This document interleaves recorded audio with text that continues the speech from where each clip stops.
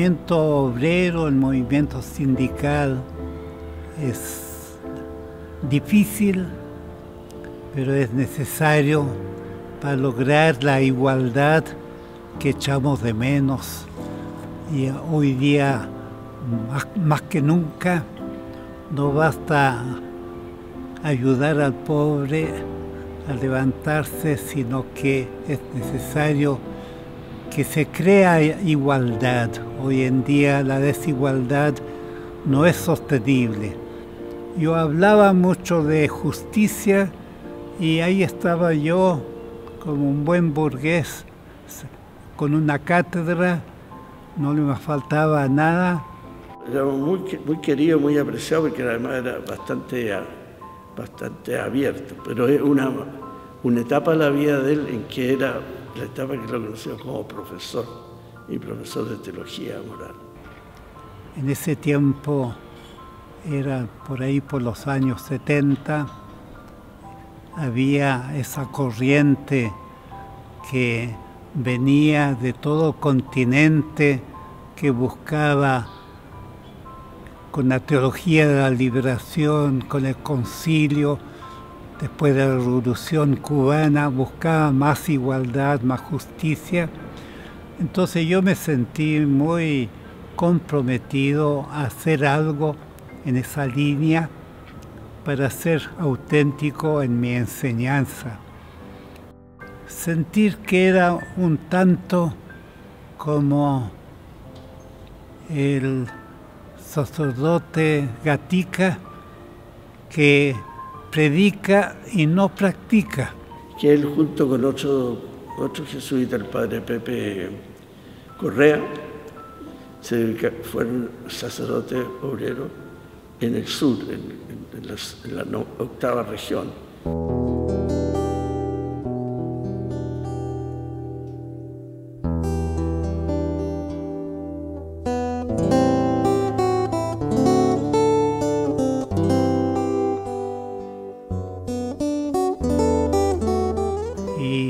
Fue mi opción por la clase obrera.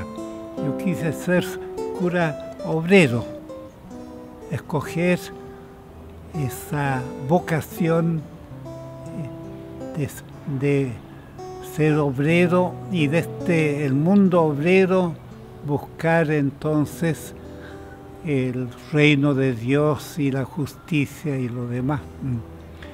Bueno, para mí fue una sorpresa en realidad saber eso, porque no me coincidía la imagen del profesor de teología en latín tan tradicional y el hecho de ser sacerdote. Yo no decía que era sacerdote y ellos allá en Concepción seguramente se admiraron un poco de este caballero que llega de cierta edad a trabajar con nosotros. Yo le decía que era profesor, que enseñaba en Santiago, había hablado mucho sobre el, mundo obrero y quería conocer ese mundo obrero.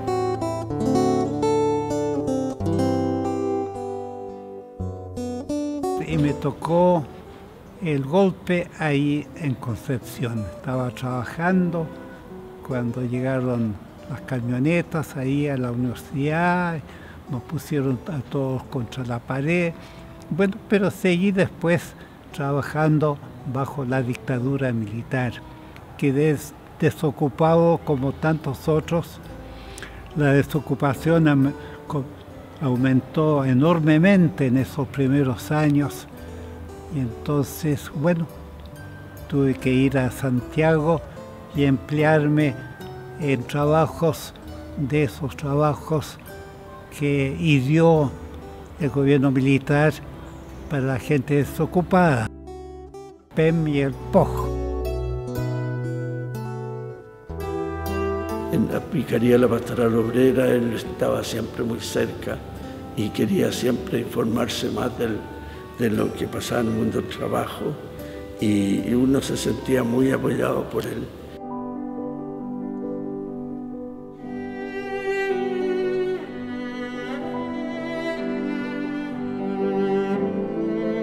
Nosotros nos llegó muy directamente eh, la realidad de los que eh, eran perseguidos por el gobierno. Gente que tal vez, bueno, uno no examinaba mucho su pasado, pero sabían que estaban bajo el peligro de verse torturado, verse muerto sin juicio, de verse desaparecido incluso. Entonces había que ayudarlos. Y ahí nació, por ejemplo, el movimiento Sebastián Acevedo, que para mí fue muy interesante, muy también eh, formador. El movimiento Sebastián Acevedo, donde mm, eh, tuvimos una, una acción muy fuerte entre el año 1983 y hasta el 90. Para mí esa experiencia de exponerse en servicio de los demás para combatir la tortura que para Chile era una llaga muy dura.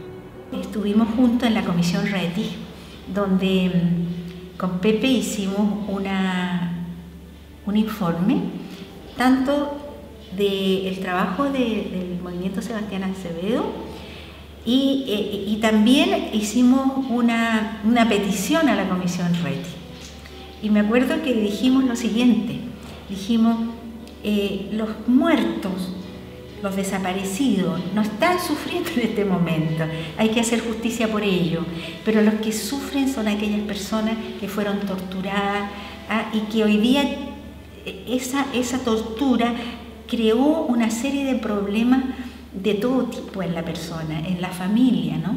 Yo no tuve mayor mérito dentro del movimiento Sebastián Acevedo, éramos como 100 o 200 los que salíamos a la calle para protestar, pero en la práctica fui vocero del movimiento, durante los primeros años también coordinador, y, y eso significó mucho para mí y para todos los que hemos participado, en general, todos los que han sido del movimiento Sebastián Acevedo, me han dicho que los, ha marcado para toda la vida.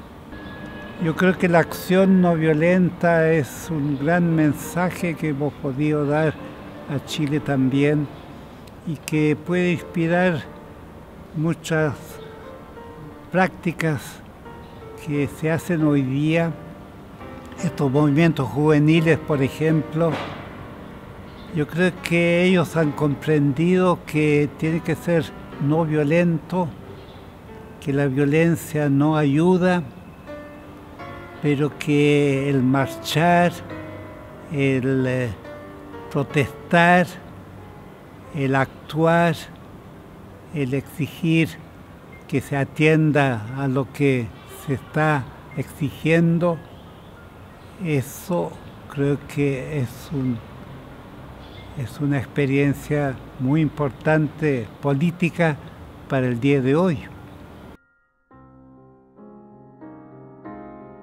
Un agradecimiento grande a la compañía porque ella me, me, aceptó, me cobijó y un deseo de corresponder a, ese gesto de la compañía, un deseo de devolverle la mano,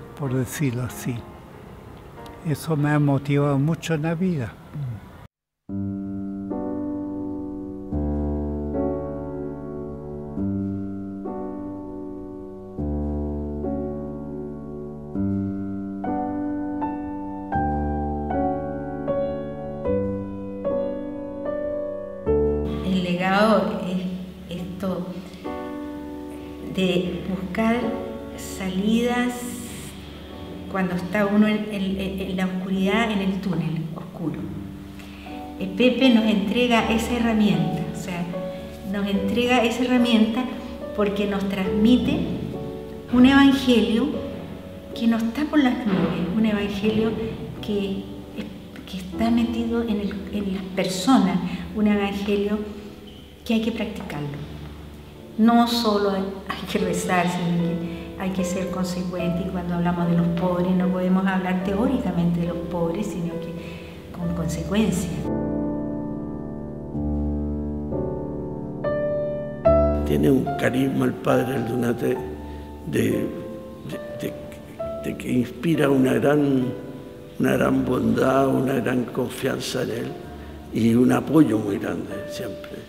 Y yo en ese sentido me sentí muy, muy honrado porque Pepe el Donate a mí me, me demuestra mucho, mucho cariño, así, mucho afecto. Y siendo como él es, uno se siente mejor, más, más tomado en cuenta.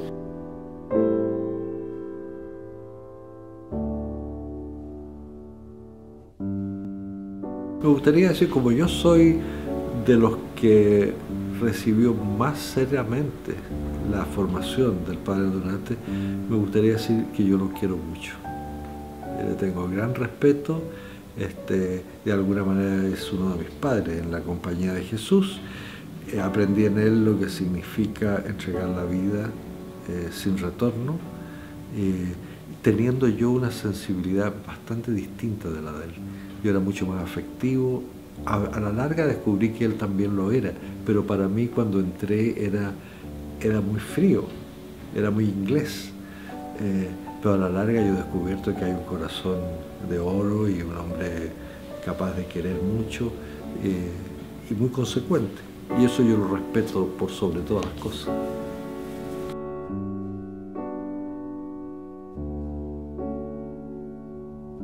que podría escribir en mi epitafio. Yo dijo, dije, bueno, una pregunta un poco tonta, pero lo contesté. Dije, mire, pongan, si quieren hacer un epitafio, pongan, hizo lo que pudo, le fue más o menos, que descanse en paz. Creo que es un poco el resumen de mi vida. Yo he hecho lo que pude, me ha ido más o menos. De lo más hay mucha gente que tiene mucha conciencia, lo menos yo tal vez sea el que tenga más conciencia, pero tampoco me inquieta porque sé que Dios está detrás de todo esto. Por eso yo puedo a mis 96 cinco años descansar en paz. Ya desde ahora eh, tengo esa paz, esa tranquilidad de que Dios me tiene en su mano, que la eternidad uno la comienza desde ahora la puede gozar desde ahora, esa eternidad de Dios, esa participación de su vida, que es el regalo más grande que nos puede tener.